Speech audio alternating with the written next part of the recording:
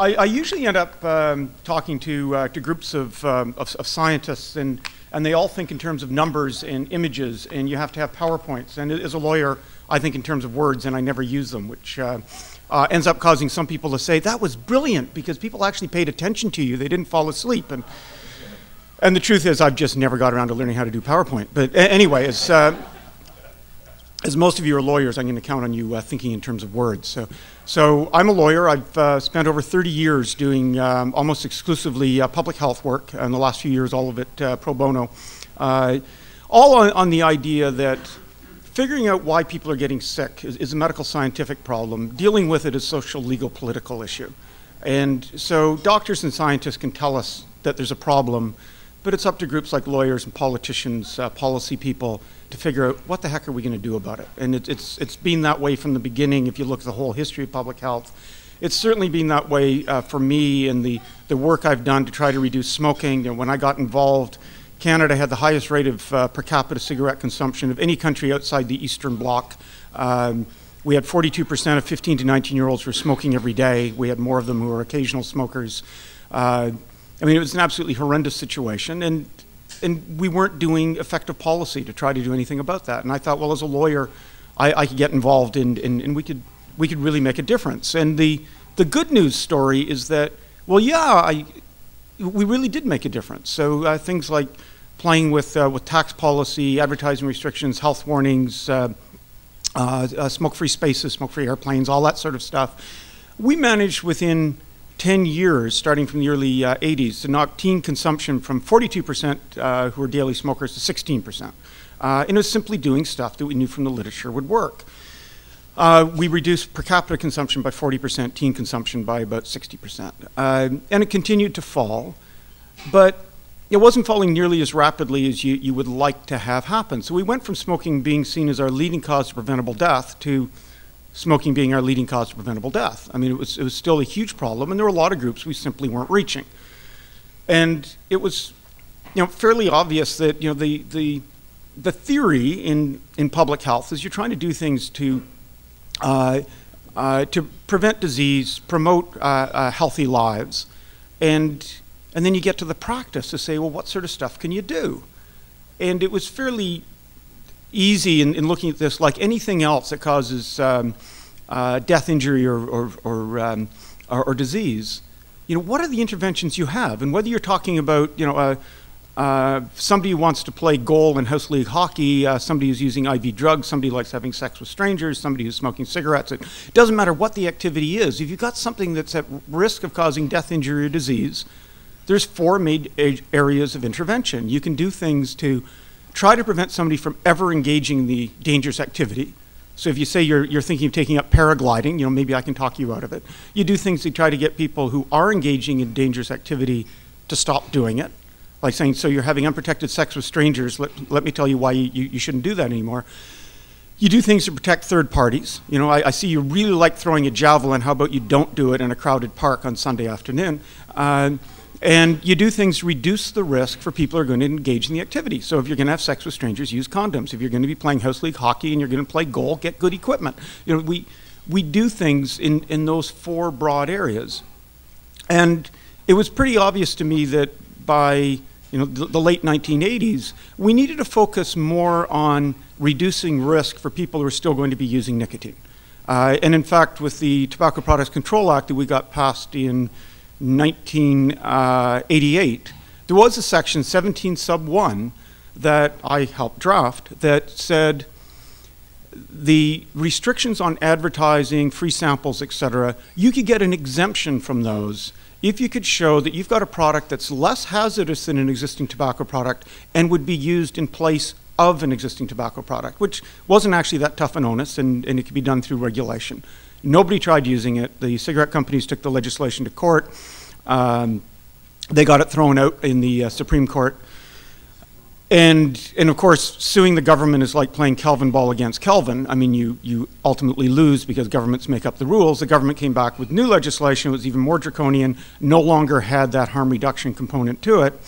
And harm reduction went from being something that was just seen as what you do in public health, and tobacco control was part of public health, to an area that you just don't do it. I mean, we, what, what we need is abstinence. So, so what I want to do is, is give a bit of background as to what I see as the fact situation, the problem that, that, that we face in dealing with, with smoking, with nicotine policy, with vaping, and then talk about what I, I think we might be able to do about it and why that's relevant to, uh, to this group and, um, and the sorts of things that we could do. So to, to begin with, I mean, smoking still, by Health Canada's estimate, killing about 37,000 Canadians a year. Uh, and the World Health Organization estimates that a billion people worldwide are going to die this century from cigarette smoking, assuming we continue to do exactly the sort of things that we're doing now. So that's the status quo. I mean, you know, continue our interventions, um, but that's what's going to happen, just given how many people are smoking and what we can project is going to happen as incomes increase in uh, lower income countries, et cetera. So 17% of all deaths in Canada this year, they'll attribute to um, direct result of cigarette smoking. And, and yet, as much as we demonize nicotine, nicotine isn't the reason they're dying. They're dying because they're sucking smoke into their lungs. So anything that we ingest by sucking smoke into our lungs will cause the diseases smoking causes. You, know, you will get lung cancer, you will get heart disease, you, you, you will get various other forms of cancer, you'll get emphysema. There are very elevated risk of these things. And that's why you go into the homes in the, in the Himalayas where people heat their home and do their cooking with an open fire without a chimney, and you see all the, the diseases that are caused by smoking being caused by just breathing in smoke. Uh, if we got our caffeine by, uh, by smoking tea leaves instead of brewing them, we'd be having the same sort of problem. Uh, so essentially, policy should come down to four simple words. It's the smoke stupid. Uh, and this has been reiterated by you know, very reputable groups like the Royal College of Physicians in the UK that has been very good on the issue of nicotine harm reduction. We've known about it uh, at least since the 1970s with the work Mike Russell was doing on, um, on nicotine in the, uh, in the UK. There was work that preceded that by decades. We have the example of snus in Sweden, which is an oral form of tobacco that somebody just sticks between their, their lip and their gum. Uh, it's done a terrific job of reducing smoking, at least among males in Sweden, to the lowest rate you find anywhere in the OECD, and their disease rates are what lower than you find in any other country. It's very hard to find any harm that's caused by people who are using snus. They're getting their nicotine, they're getting it without smoke. And, and we've known that if, if we look at innovative technology, uh, there, there's actually a, a really interesting history here because it isn't just a matter of what might we do now to replace cigarettes. It's where did cigarettes come from? Because people used nicotine for a long time before we had cigarettes. Cigarettes are relatively recent, you know, starting beginning of the last century, and that was because of technology, of developing a cigarette manufacturing machine, the Bonsack machine, that allowed the manufacture of these little effeminate cigarettes to replace things like cigars and chewing tobacco and various other things that people you know, weren't inhaling smoke into their lungs. So if you go back 100 years, lung cancer was a quite rare form of cancer. You know, early in my career, when I would talk to, uh, to doctors, researchers who were training back in the, uh, in the 20s, they talk about being called in to examine somebody or to see somebody who had lung cancer, being told, this is such a rare condition, you may never see it again in your career. And little did they know. Now, back then, the big problem, the biggest cause of cancer deaths by far was stomach cancer. It wasn't lung cancer. Lung cancer was rare. Stomach cancer was, was, was huge. And innovative technology hit in that area as well. So while we had cigarettes come along as innovative technology that took nicotine delivery to something where you suck smoke into your lungs and caused lung cancer rates to skyrocket. And by the time of the Second World War, they were now the leading cause of cancer death in North America. Stomach cancer plummeted. So in a 30-year period, stomach cancer went from being the most common cancer, uh, uh, cause of cancer deaths in North America to falling by half. In the next 30 years, it fell by half again. And it continued to go down to the point that it's relatively rare. So in the mid 1940s in Canada, stomach cancer was still the leading cause of cancer deaths. It was killing more people than lung cancer, but it was on the way down and it kept plummeting. And what happened? You know, what sort of expensive government run campaign? Well, none of that. It was innovative technologies, refrigerators. Once we had refrigerators, once the private sector said, you know, I, th- I, think we can use the technology to come up with something consumers would like to have, they can afford to have, it will allow them to eat more of what they would like to eat and not have stuff go bad on them, and they're not going to have to have as much highly smoked, pickled, salted foods. They can get more fresh fruits and vegetables if they want. We can transport it around now so that you. We got rid of stomach cancer, or I mean, to the point that it, it became quite rare. Innovative technology. So a really interesting example where the private sector solved the leading cause of cancer death. Well, could we now solve the problem we have with smoking by essentially innovative technology again, re engineering nicotine? So, in effect, it's a back to the future. Let's figure out can we give people nicotine without them sucking smoke into their lungs? They used to do it, seemed to work.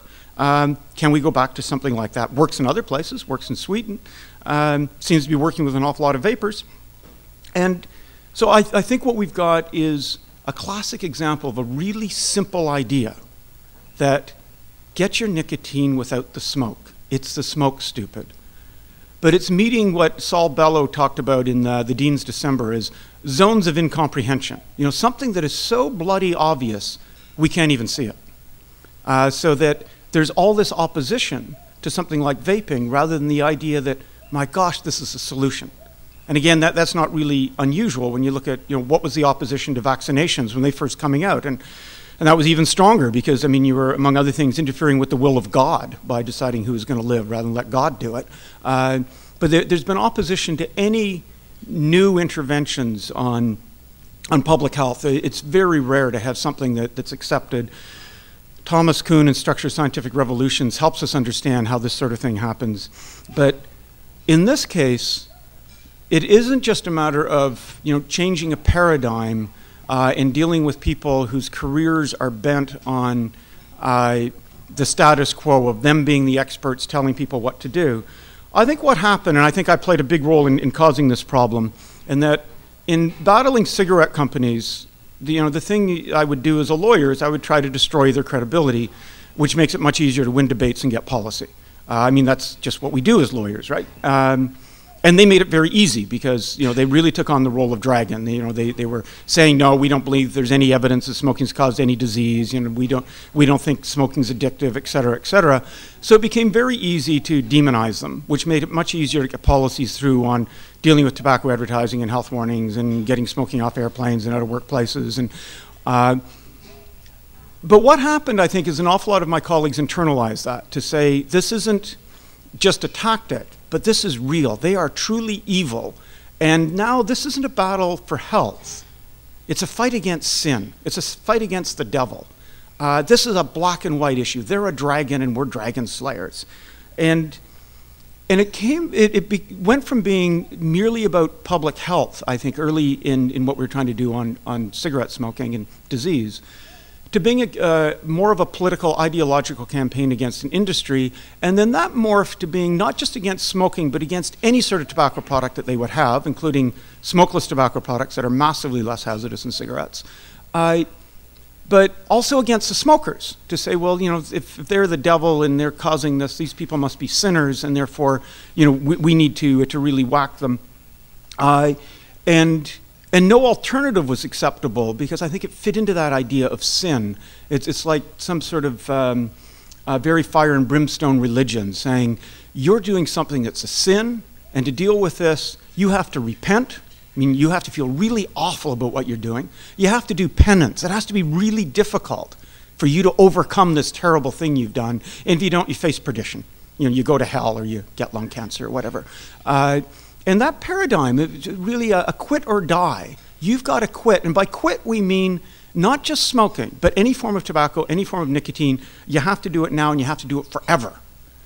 And then we, we ended up with this bootleggers and Baptists uh, problem where when anybody would come up with ideas to replace cigarettes, they could give alternatives, those things were attacked. Because, of course, that's like saying, how about we just allow a little bit of sin? Uh, well, you know, it's, it's, it's, not acceptable. So when we had nicotine uh, therapeutic products come up, the Nicorette type products, really, really heavily regulated. You need to protect people from this. You have to have a government regulator that makes sure that you don't deliver very much nicotine, you don't deliver it for very long, you don't deliver it in a consumer acceptable way because what if? I mean, what if somebody liked this stuff and started using it? And, uh, and when people would come up with you know, brilliant ideas, and it happened again and again and again because people would look at this market and say, my God, you know, people are spending the equivalent of $800 billion a year globally buying cigarettes. Most of them don't want to be smoking cigarettes. I can come up with a product that replaces those cigarettes. I could save millions of lives and I can make billions of dollars and I could win a Nobel Prize for doing it. I mean, that's going to look really good on a resume. And, uh, and then what they do is they'd run into all these regulations that essentially ban them. So Advanced Therapeutic uh, Products in, in Texas came out with a nicotine inhaler, sort of a precursor to what we're looking at with vaping now. This is like 20 or more years ago. Gets banned. Uh, people come out with uh, oral nicotine uh, lozenges, uh, pharmacists developing these to help their, their clients quit smoking. And they get banned. Uh, Star Scientific, a little company that was set up by this very entrepreneurial guy who, who was out to change the world. He'd made lots of money. he thought, we'll get rid of cigarettes. So he hires in the former drug czar the, from the US, the, the White House advisor, Jerry Jaffe, who's one of the world's leading experts on drug harm reduction, dealing with issues like opiates, totally understood nicotine. He brings in Paul Perito, who had been his uh, deputy dr drug czar in those days. He got this dream team of people saying, We're going to come up with something. He came up with these really low nitrosamines. Nitrosamines are the things in smokeless tobacco you want to avoid. So he basically eliminated nitrosamines in the way to develop these little lozenges you just put in your mouth suck on the lozenge the way you would a Tic Tac, and for an awful lot of smokers, got rid of the need to smoke. Dream Team, they got savaged. They were attacked by the anti-smoking community. There was all sorts of misinformation about their product. Uh, the, uh, the FDA was petitioned to, uh, to deal with it. They ended up going, going out of that business. Um, snus in Sweden, as I mentioned, we've got decades of proof that this product is massively less hazardous than smoking, acceptable to a tremendous number of people that otherwise would be smoking. What do we do? The European Union bans it everywhere other than Sweden, and then countries around the world decide they'll do the same. Uh, moist smokeless tobacco, again, a smokeless tobacco product, very, very low risk compared to cigarettes.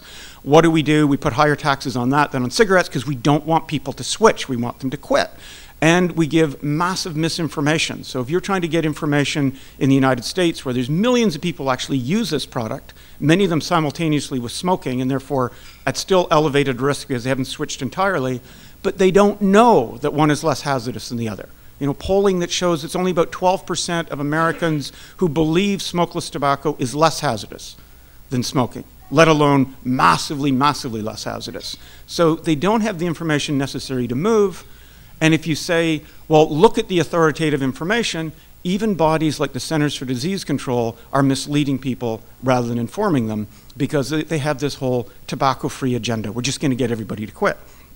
Uh, so we've ended up with these products that have come along from time to time, been destroyed uh, by the people who consider themselves to be the enemies of the cigarette companies. And that's allowed the cigarette industry to morph into this oligopoly. They've consolidated. Uh, there's very few large multinational companies selling a product that uh, Warren Buffett described as, you know, tell you what I like about cigarettes. They cost a penny to make. You sell them for a dollar. They're addictive. I mean, you can make so much money selling cigarettes. Uh, as the CEO of one of the companies uh, said to me you know, recently with, you know, talking about the disruptive technology and what it could do to them, he said, you know, this used to be a simple business. You know, basically you put a bunch of tobacco at one end of the assembly line, cigarettes come off the other end of the assembly line, and you remember to raise prices twice a year. That was the business model. Or as another CEO said to me, you know, back in the day, the biggest R&D challenge we had was how do you build a wheelbarrow large enough to take home the money at the end of the day? Uh, and, you know, how did they manage to get such a lucrative business selling such a deadly product? Well, we handed it to them. Uh, we, we set the terms of, of the market in a way that, that allowed that to happen, that then gave them a big incentive to continue doing exactly what they're doing. And I think it's consistent with what uh, we're going to hear about uh, what happened with the taxi industry. We, have seen it in lots of other areas that ended up being disrupted. Uh, monopoly telephone companies are another really good example. And so it turned out that we did one of those Ivan Illich things that, you know, the way institutions often end up doing exactly the opposite of what they were set up to do. So you have like lung associations and heart foundations that are they, they're set up to like try to reduce lung and heart disease, and then you come along with something that could reduce lung or heart disease, and they attack it. Um, and allowing cigarettes to become another Ivan Illich idea, a radical monopoly, something that just so dominates our consciousness, we don't even think of alternatives. You know, if you're, you, it's just it's just smoking. I mean, you know, it's, it's the, what, what, what do you mean? Uh, but the problem is, I mean, you know, abstinence only is generally a pretty dumb idea any, anyway. But if you look at the, the history of it, you know, it doesn't work. Um, and we see this when we look at things like the, you know, the history of campaigns to deal with venereal disease or unwanted pregnancy. Abstinence only, really bad idea. War on drugs, abstinence only, really bad idea. Prohibition of alcohol, bad idea. You know, we, we've gone through you know, various times of somebody saying, I'll, I'll tell you how we're going to deal with this market, we'll just ban it. Um, and that's not a good idea to deal with, uh, uh, with markets. But there's really good reasons for that. It isn't that people are just being obstinate. Um, well, some of it is people being obstinate. It's that human nature, people are going to do the things that they decide they want to do. And one of the things that we like to do as a species, which we share with a, a very wide range of species, is that to the extent we have consciousness, we seek to alter it. And whether that's with nicotine or with caffeine or with alcohol or rolling down a hill or taking up jogging or having sex, there's all sorts of things that we do to alter our consciousness. People like doing that. Nicotine has advantages in that it can uh, do things like help you be both alert and relaxed. Well, for a lot of people, that, that's, that's a big advantage. Um, but it, it, it, goes beyond that because we know nicotine, particularly as delivered by cigarettes, is, is not only really deadly, but it's particularly addictive. The addictiveness of a drug comes from the way the drug is delivered. And that's why nobody gets addicted to a nicotine patch. People do get addicted to, to cigarettes. You get, and, and the same with you look at IV drugs. IV drugs or smoking a drug, it's much more likely you'll get dependent because you get that rapid spike and then it falls off quickly. So you need another one. And uh, so we could deliver nicotine in a different way, but the people who are getting it now are much more likely to be addicted to it. But beyond that, we have really good research from genetics that tells us there's a lot of people that aren't going to be able to quit with the sorts of measures that people like me have done during our career. So having used things like tax policy, which was by far and away the most powerful tool we ever had, that we now have really good research from people like uh, Jason Fletcher at uh, Yale saying, you look at a group of people, and those with certain genetic uh, qualities, you have a big tax increase, it has no impact on their smoking, none you know, they are going to continue smoking. Well, that ties into to, to issues of addiction, but it, it ties into things we're starting to learn now about how genetics does affect behavior. But there's also the neuroscience on self-medication or, or, why people use drugs. You know, there's a reason why some of us, if we were out late last night, are having more coffee this morning. You know, that's self-medication. There's reasons why I, as an avid uh, absurdly avid long distance bicyclist knows where all the best coffee shops are in eastern Ontario and West Quebec. Caffeine appreciably increases your ability to do endurance exercise. That's self dosing. You know, you fly internationally. I arrive at Heathrow, which I do very often. I go to the arrivals lounge, I have a shower, I have two cups of coffee. That's self dosing. In the evening, I'll make sure I have alcohol with my meal. That's self dosing. Uh, that, but we get into certain conditions where the self dosing is really pronounced. So one of the effects of nicotine is a gating effect. It allows you to get rid of additional stimuli, which may not be a problem for many of us, but if you're schizophrenic, that's huge.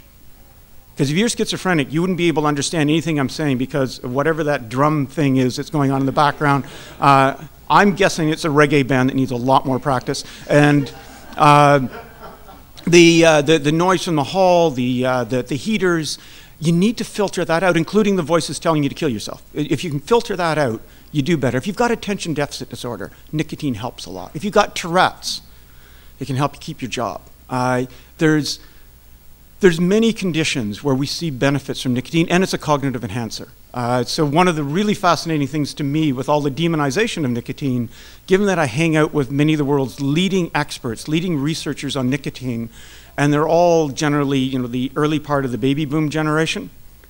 An awful lot of them have now started using nicotine. These are the most knowledgeable people in the world on nicotine. They didn't used to use it. The more they learned about it, and the more they thought, well, I'm 70 years old now. Uh, given what I've seen about this stuff in uh, cognitive enhancement, I'm going to start using it. They don't smoke. Uh, they get their nicotine from non-combustion ways. So So the neuroscience is telling us, the genetics are telling us, human behavior is telling us abstinence only isn't going to work, it's counterproductive.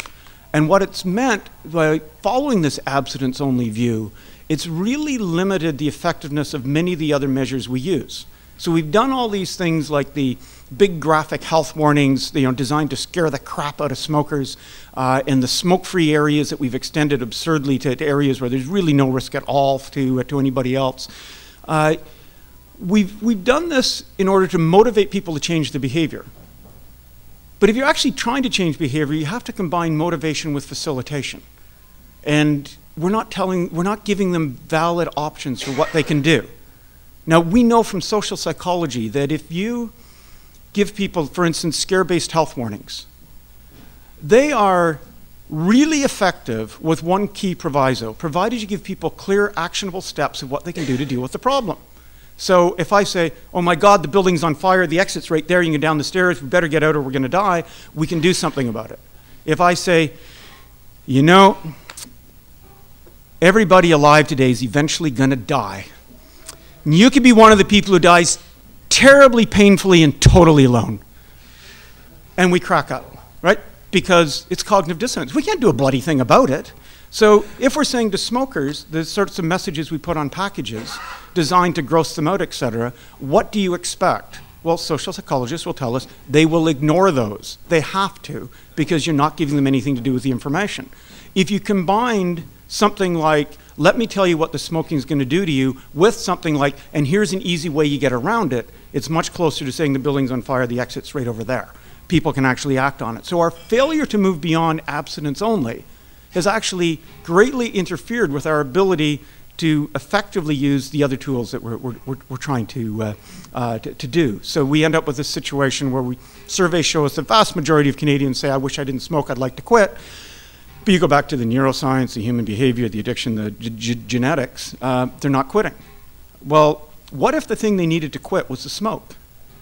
You know, and that it wasn't a matter of them having to fundamentally change their behavior. It was, it was, a matter of just, you know, get what you want in another way. You know, what if I said, oh, the, the coffee on the left back there is highly radioactive. If you use it, you'll probably be dead before 3 o'clock.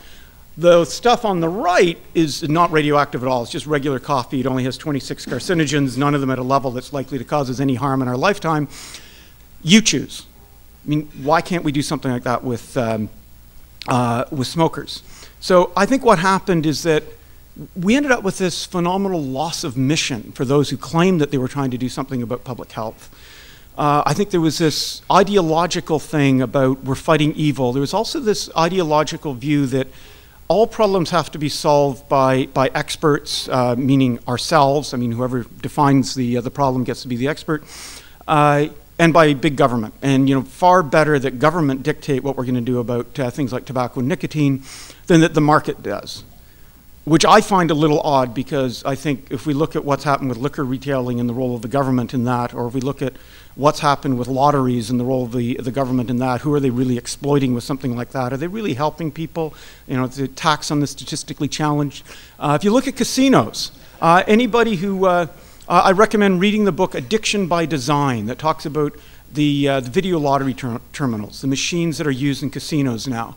What they have done to those machines make the cigarette companies' manufacture of cigarettes look amateurish by comparison in terms of addiction. Who's running the casinos? Who's going to the casinos? can they, how, what percentage of the revenue is actually coming from people who are well adjusted, are having entertainment, you know, the sort of stuff they say in the ads? And that book says it's around 5%. Uh, and we want our governments to take over something else. Uh, that why would we allow our governments to be putting vaping at a disadvantage, which is you know, what they're trying to do, and banning vaping in areas where there's no logical, scientific, public health reason to do that? Why would they say we have to treat it exactly the same as cigarettes? because they're not.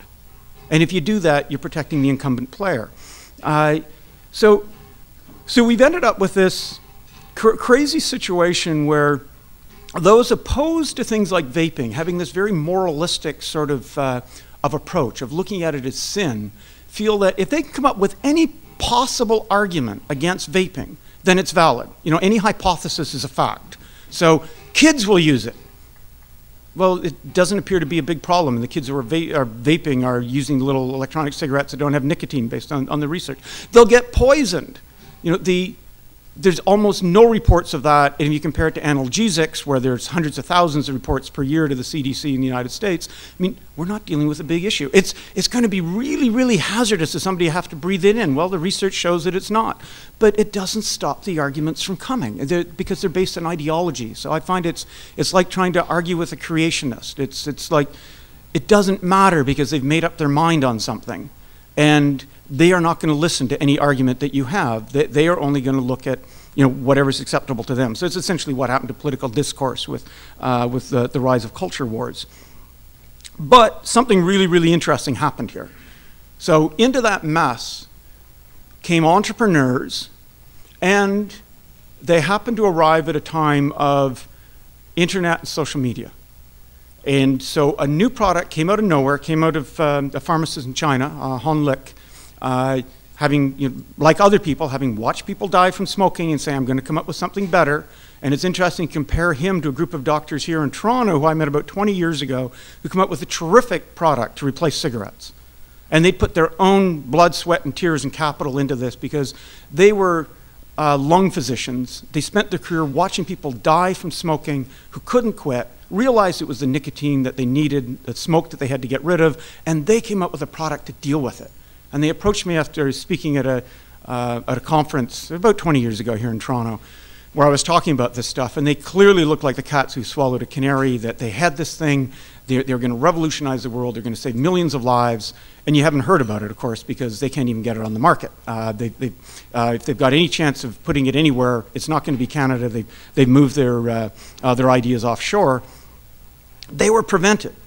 But Hon Lik came up with this product that started to spread, and it spread not by going to the government and asking permission, but it just ignored that. The way that much of what happens in innovative technology, as we'll hear with Uber, uh, much of what's happened in, the, in the, area of, of, of, technology, they don't like government. You know, they, they like the idea of just, just selling stuff. So it started getting passed around, and little products came out, and people started importing them, and, and the governments really weren't sure what to do. And when governments tried to shut them down, instead of them saying, yes, I guess we'll, we'll stop if you tell us to, you're the government, as they, they were basically saying, screw you, who are you? I mean, we're not going to pay attention to you. Uh, or they'd take them to court and, and, and, be able to continue to sell a product. So it was something unlike regulatory agencies uh, uh, were used to. And it was a classic technology play because you know the, the way Google talks about you want to get a product not just better than, than what's out there now, you're looking for something that's like 10 times as fast for one tenth the price. You know, you want a really big sea change sort of thing to, to get somewhere. Well, here you have a product that can retail for way less money than cigarettes, and it doesn't make you stink and it doesn't kill you. I mean, there's, there's a huge advantage to something like that, and it started spreading. Uh, and I was mentioning to others uh, here the book called Big Bang Disruption by Downes and Nunes. It talks about how innovative technology now has a huge advantage because of the, the role of the internet for getting information. So I can pretend I'm an expert and tell you my view on something, and you can pull out your phones and check Google and find out if I'm full of crap. Um, and we didn't used to be able to do that as easily. And if you find out I'm full of crap, you're probably on Twitter or you have a blog or uh, you're on Facebook and you tell the whole world that I'm full of crap. Um, that information gets passed around. And if you find this product works for you and it's got you to quit smoking, you pass that around. Uh, other people start picking it up. So in, before governments could react, we had a tremendous number of users. So when we still have Health Canada saying these devices are illegal in Canada if they have nicotine in them, well, they're illegal the way marijuana is illegal in Vancouver. I mean, just it's it's everywhere, uh, and and they can't do anything about it now. So it's like going back to civil rights to say if your jail only holds 20 people, and 400 people have just violated the law in an act of civil disobedience, now what are you going to do? So if you want to close down an uh, uh, innovative uh, industry and it's got 12 employees and 37 customers, you can do that. You know, I've discussed this with um, uh, colleagues globally for many years before these products came out, saying, how many users would you have to have before it would be possible to just close something down?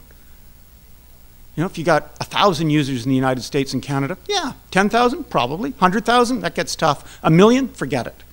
And so what happened is this innovative stuff, just as I think while we're here with Uber, got so popular so fast that governments couldn't figure out what to do about it. And so with that, has come all these changes that happen with technology where the products are changing so rapidly. So it's more like what's happened to our phones because governments haven't been able to prevent it from happening. Uh, so they're getting ever better, they're segmenting the market. We're getting consumers deciding how to use a product. And one of the fascinating things now is that, as some of my more abstinence only uh, oriented colleagues are saying, my God, there's non smokers who are using vaping. Well, talk to the non-smokers who are using vaping, and what you'll find is either they, in, in almost all cases, there's no nicotine involved, and they're using it for something they have found to be valuable that they probably learned about from social media. A classic one is replacing calories.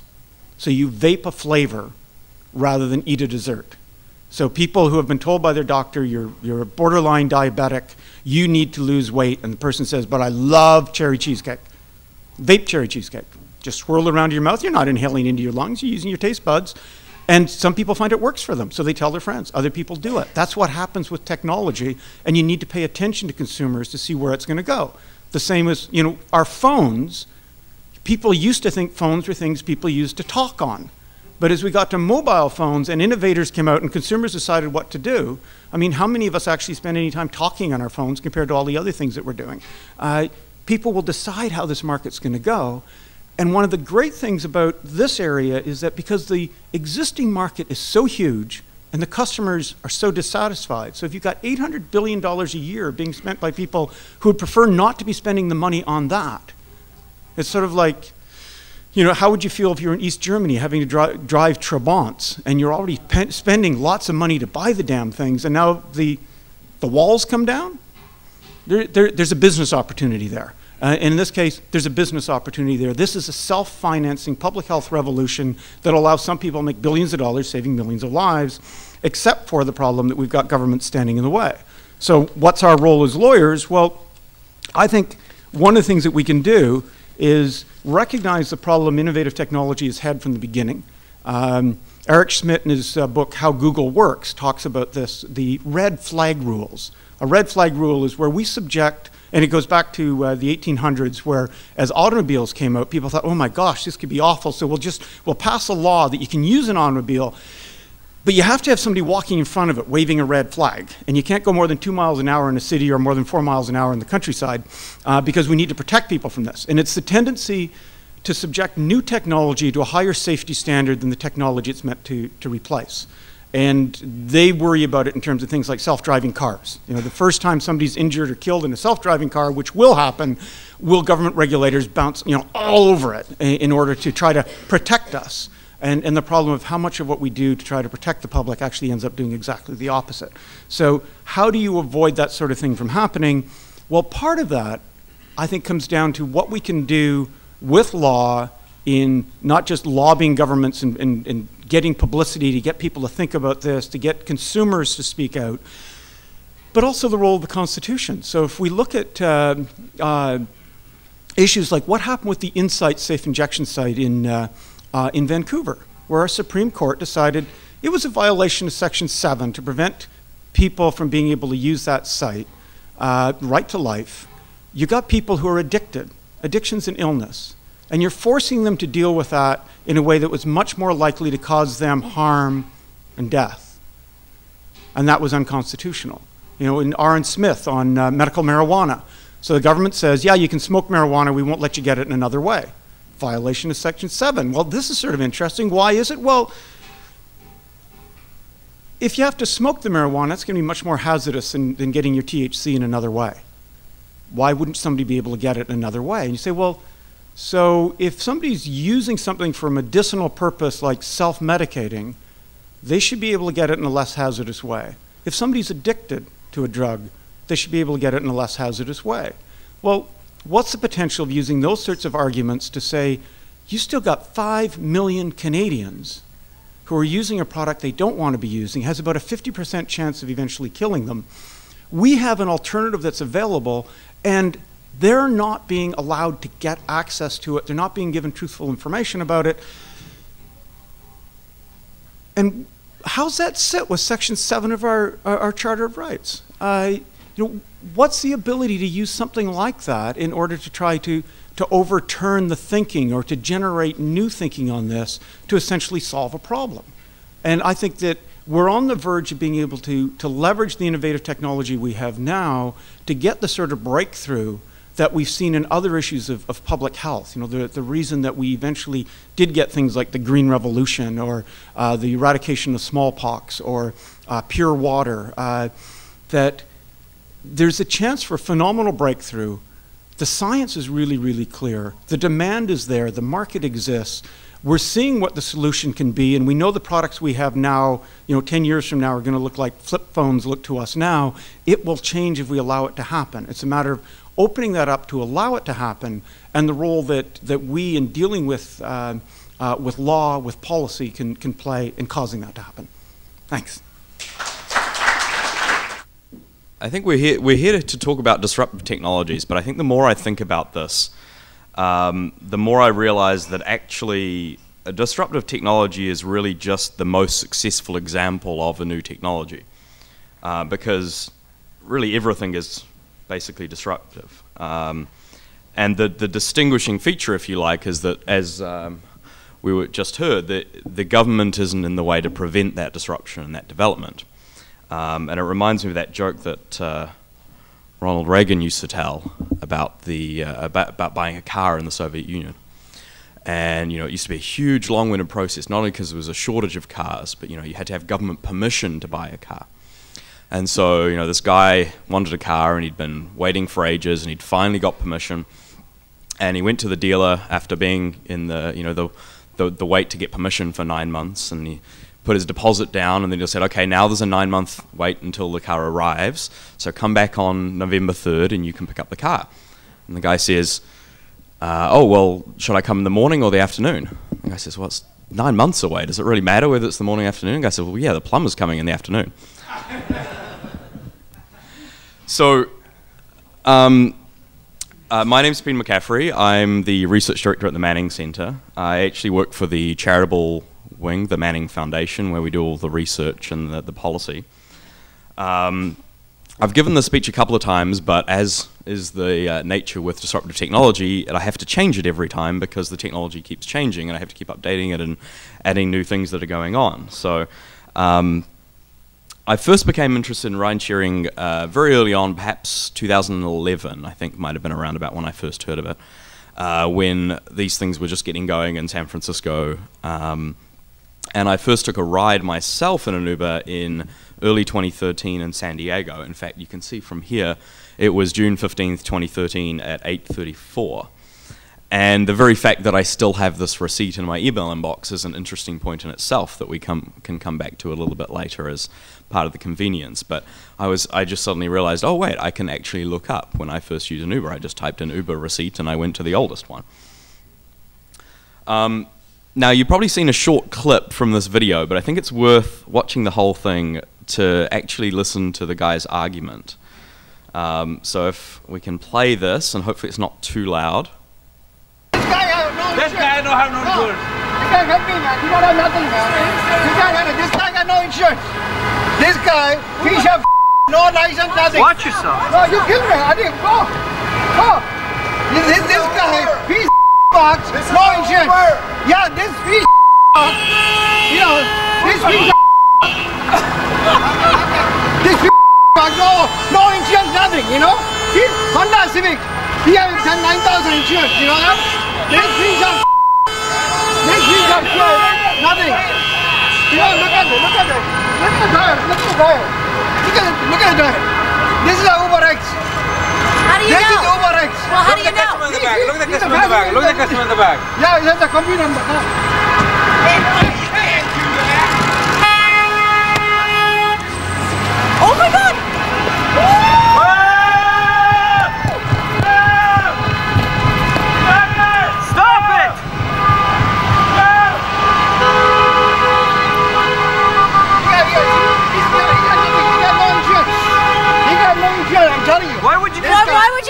that? No, That's he, crazy. see, he, don't- Why so would he, do that? he doesn't have it like because he I don't want to talk to you. but why are you gra- Yeah, being tried to- dragged tried by his tell car? Don't you Tried- know? I think that's enough. So you see, they don't have insurance. They're just regular cars. They're very dangerous, right? This guy's primary concern is safety.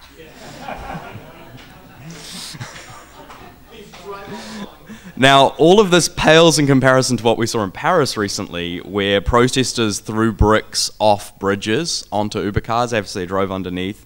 They tipped Uber cars over and set them on fire, and just other general rioting, as you know, is a bit more normal in Paris.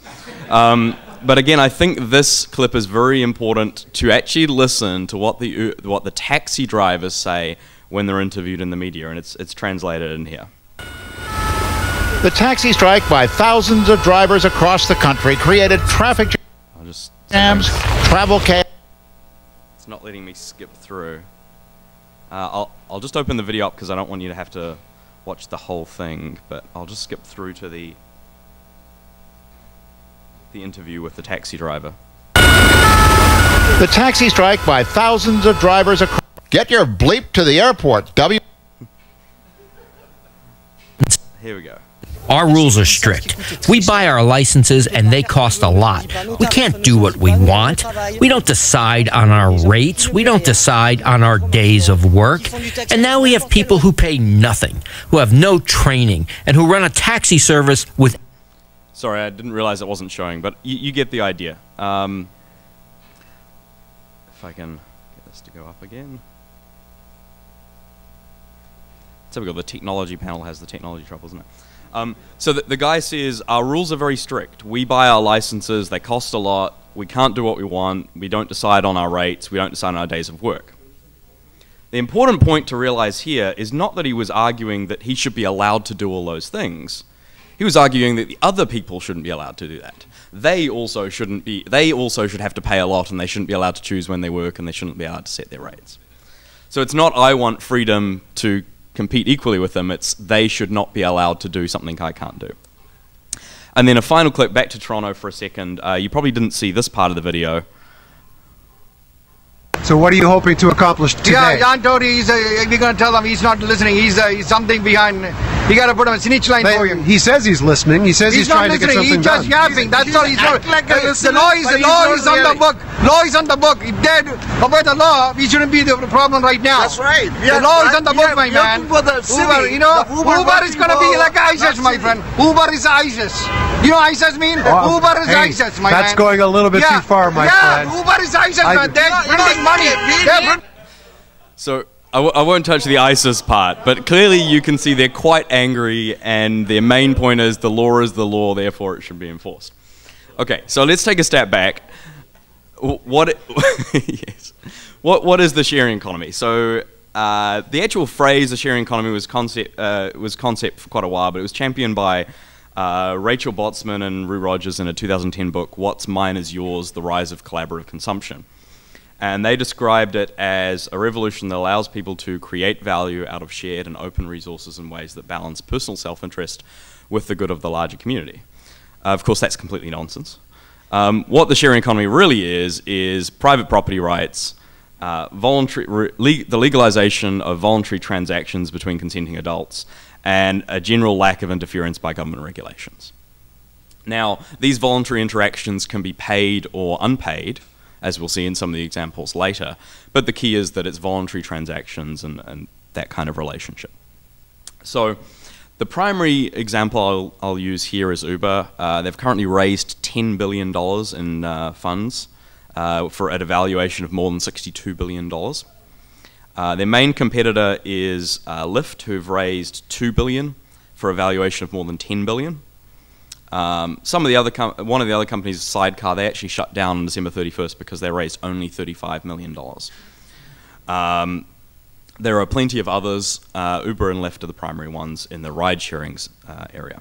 In the other areas of the um, sharing economy, we have a whole bunch of apps that do very similar things for different services. So I'll very quickly run through them so you get an idea of the general scope of what can be done with these types of apps and, and how it works. So Airbnb is the other one that a lot of people have heard of. It's essentially Uber for accommodation.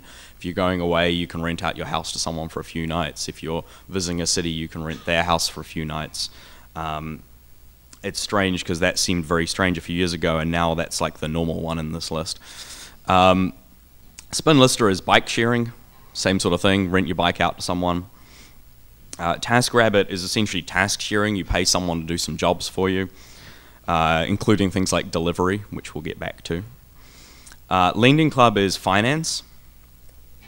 Uh, Fon is an interesting one because this was a very early one um, where it was if you shared your own home Wi Fi publicly using a secure sort of setup, you would then be able to, anywhere you went, find another Fon user and use their Wi Fi.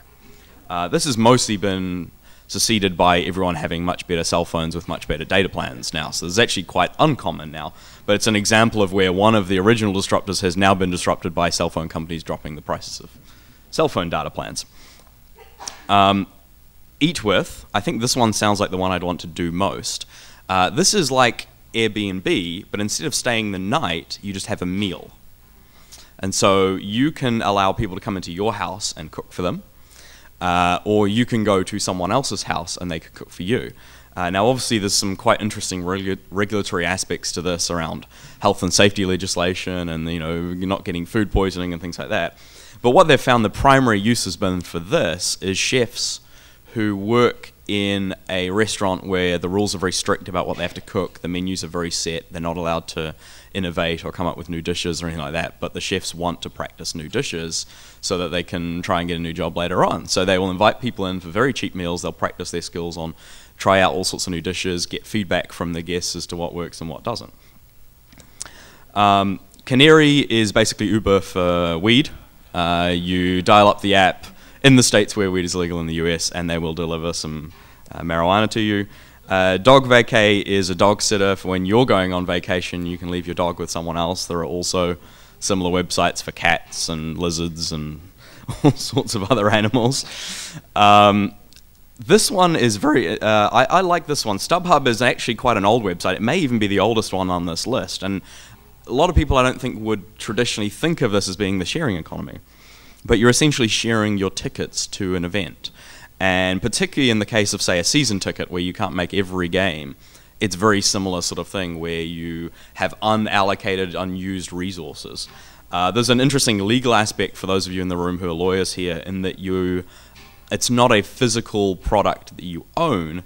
With a ticket, you're purchasing a license to a seat at an event.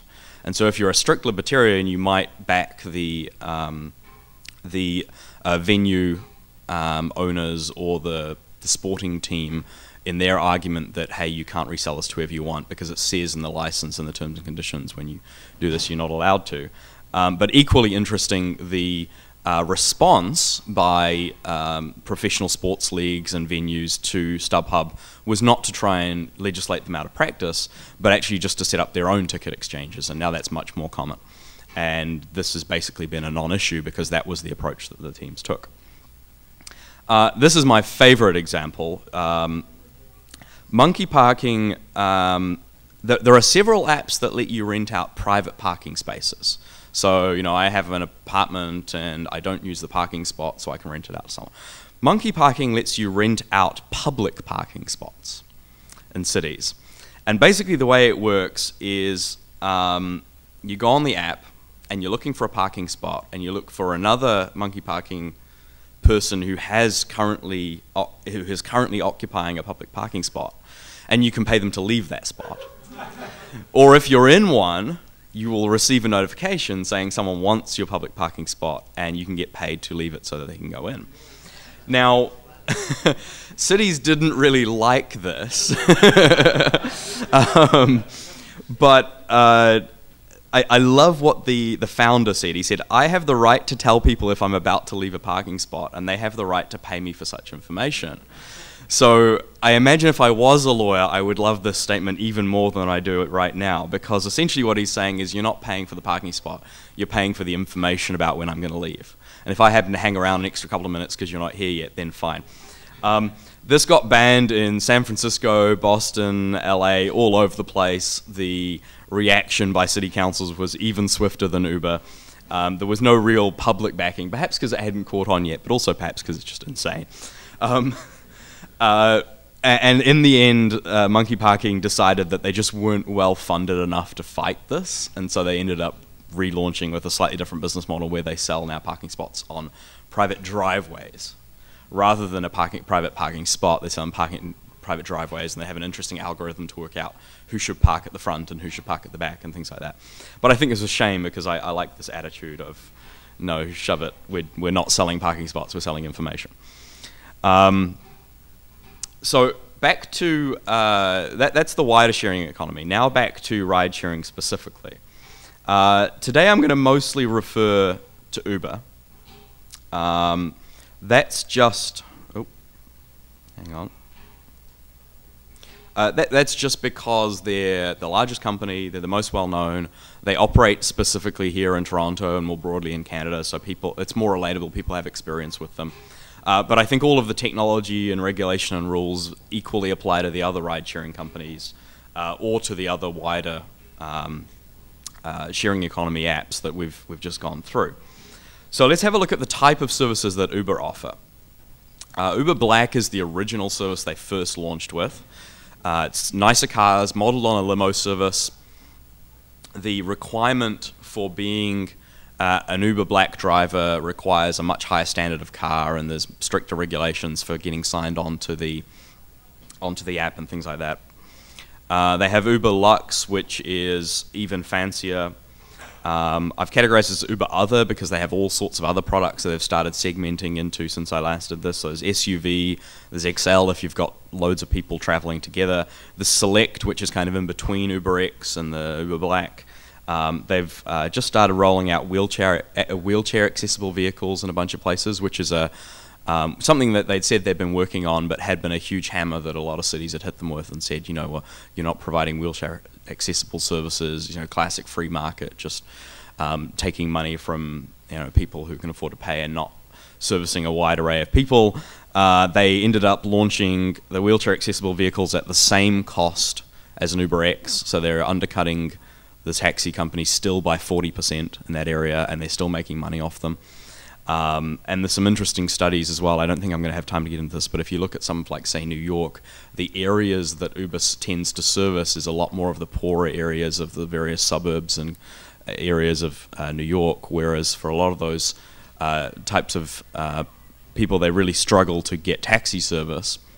So they've had huge benefits from that.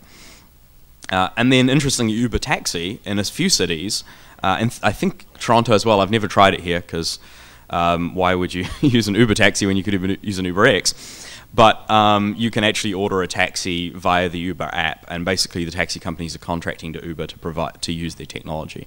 Uh, which, if if you've ever used a taxi company's proprietary app, you might understand why a smart taxi company would want to do this. Um, and then UberX. So this is the, their lower end product. It's um, the one that's getting all the attention. It's the one that's got the cheap price, 40% less than taxi or whatever the, the most recent rate is. Uh, and this is the one that's really caused all the arguments and the anger because it's the one that's undercutting the market and taking all the market share. So this is regular people, most of them driving part-time in regular cars. There's a few restrictions. I think the car has to be at least five or max seven years old, depending on the city. And the exact rules vary uh, depending on city regulations, Uber own policies, etc. But so the real question is why is everyone so mad at Uber? And the simple answer is because it's popular, really, really popular. Um, I like to note that the, the sort of the left wing social activists really loved the sharing economy a few years ago. Back when it was all unpaid voluntary transactions, and it was people giving someone a ride to work because you happen to be going the same way, this was like the darling of the left. City councils would spend millions of dollars on promoting these programs. Um, in fact, if you look through various cities, a lot of them still have references to these programs on their website about how great it is to share rides and how, you know, it's not actually that bad to share a ride with a stranger because you'll get to have interesting experiences and all this kind of stuff, and how actually Canada's a very safe place and, you know, all this kind of stuff. So none of the safety concerns were a problem when it was free. But as soon as someone actually invented some technology that allowed them to commercialize this, uh, to make ride sharing into a profitable business, and uh, in the process actually make it a feasible business, uh, then council started banning it. And the, the problem, I guess, with ride sharing is you have to have that technology in order to connect the individuals, in order to create a critical mass of uh, cars that are available to actually make it an option for someone who'd want to take it and, and it be a reliable service. I'll come back to that in a little second. So the taxi drivers and the taxi companies are mad because Uber is taking a huge chunk of their business away from them. Uh, just uh, this week, a taxi company filed for bankruptcy in San Francisco. It's the first one. Uh, first, sorry, first major taxi company to come, and specifically because of ride sharing. Uh, it's an interesting portend of what might be to come, given Uber launched first in San Francisco back in 2010, and so it'll be interesting to see how this flows through in a lot of other cities. Um, for the last couple of years, Uber have made the argument that actually they've grown the pie. That um, they are offering more rides per day than the entire ind- taxi industry put together were offering per day before Uber launched. And that was true. They'd grown the market, far more people were taking rides, probably because more people could afford it. And so Uber had grown that market, but I suspect they've become even more popular now, and, and even though the market is growing, they're still eating into the existing market as well. So then the next obvious question is why is Uber taking all of their business? Why is it so much better? Um, in, in Calgary, Uber launched in October, finally, um, and we had it for about a week and a half before the uh, city council and our ultra progressive mayor, Nenshi, who's supposedly such a fan of Uber, decided to take them to court. Um, I won't get into the details of the court case because um, you know we've had enough law for the weekend. Um, but um, essentially, we're hoping that it'll get negotiated and figured out and it'll be launched back in February. But suffice to say, I've had enough experience with Uber and Lyft in other cities uh, to personally know the answer to why Uber's taking all of their taxi businesses. So let, us give you an example of a typical taxi experience. Um, maybe you call them on the phone on a Friday night, you can't get through, you try again, you can't get through, you call them again, oh, you got through, okay, now I'm on hold for 10 minutes. Uh, they finally pick up, you ask them for a taxi, you give them the address, they don't know where the address is, you give them the address again. They said, oh, okay, all right, it'll be 10 minutes, maybe 15, definitely no more than 30 minutes. So uh, an hour later, you're still waiting. You call back, they say, oh, sorry, the taxi couldn't find you, they left. So they send you. No, they said, "We'll send you another one. It'll be you know 15 minutes." It's like, no, no. I'll, I'll, you finally managed to flag one down off the street, which you should have tried in the first place. Probably in turn stealing that from someone else who'd ordered that taxi because that taxi driver didn't want to drive all the way to pick up that person. They just wanted to get the ride from you immediately. Um, and then you get inside, and it's an old car, and it smells, and it sounds like it's about to fall apart and as you're as you're driving off, the driver almost crashes into another car or a pedestrian or a cyclist or something. On the way home, they talk on their cell phone or they play rap music the whole way. Uh, nothing against rap music. Um, and then when you get home, you pull out your credit card and they say, "Oh, I'm sorry, the credit card machine isn't working." Yeah, you've had that one. Yeah, yeah. And then you say, "Oh, well, I, I don't have any cash," and it, oh, magically the credit card machine is working again. um, and, and yeah, that, that sounds familiar, right? Okay. Um, so maybe I'm exaggerating a little bit, but I don't think that's that far off a typical taxi experience. Occasionally you'll get a bit lucky and you have a better experience and, and it'll be nice. Sometimes you'll get unlucky and you'll have an even worse experience where the cab just never shows up and you walk home, or where you actually crash into something, or where the car actually breaks down on the way or where the credit card really truly is actually broken and you have to drive around with the taxi driver looking for an ATM or while the meter's still running. All of those things have happened to me. Um, and I have one more personal story for you, uh, which I threw in just for this one. I, I, arrived in Toronto for this conference, and I took the uh, fancy new public subsidized train down to Union Station. That's a different speech. Um, And, and for a moment, I considered getting a taxi because you know you walk out of Union Station, there's a taxi rank there.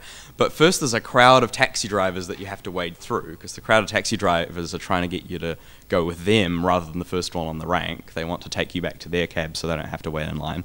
So you wade through them and you go to the first taxi in line. And I, uh, you know, and, and I tried to get in the back and it was locked. And so he wound down his window and he said, "Oh, where are you going?" And I was like, well, you're not technically allowed to ask me that because you're not allowed to decide whether to give me a ride based on where, where I'm going, whether it's far enough for you to, for it to be worthwhile you um, giving up your spot in line. But I gave him the address, and he said, oh, I don't know where that is. Chelsea Hotel. Okay. Um,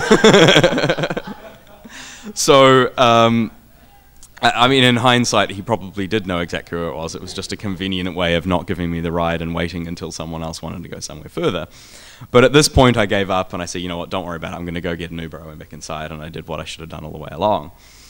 Um, so, so by contrast to these stories, Uber typically offers a far faster response time, a convenient app that just works, nice newish cars, polite, safe drivers, the convenience of it all just coming off your credit card automatically.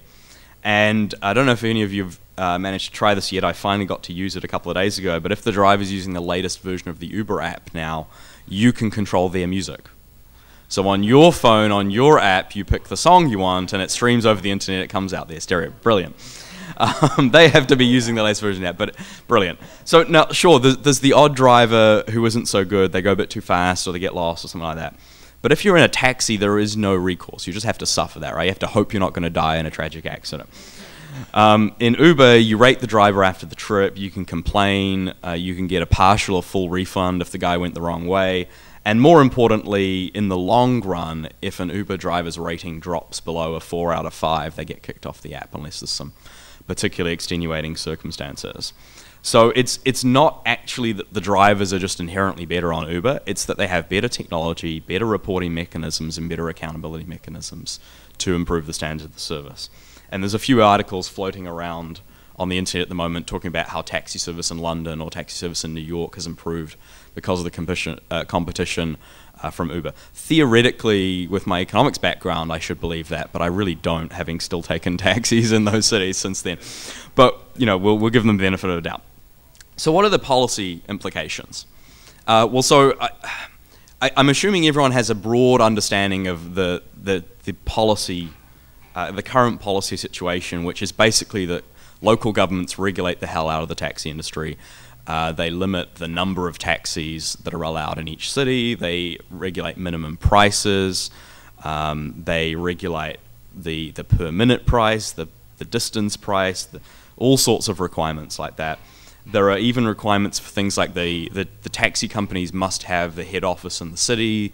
They must have a a call center. You must be able to order a cab by phone. You can't only offer an app. Mu you must have phone support, so you can call up. Um, I, I, assume it's just that you must have a phone number, not, not that you must actually answer the phone. Um, um, but it's, it's, essentially it's your classic public choice problem of special interests and rent seeking where you have a small group of people deriving a very large benefit from a bunch of regulations, but the vast majority of people are only paying a small cost for that. Um, and, and, and up until Uber, this was a, an almost intractable problem because of the politics around this.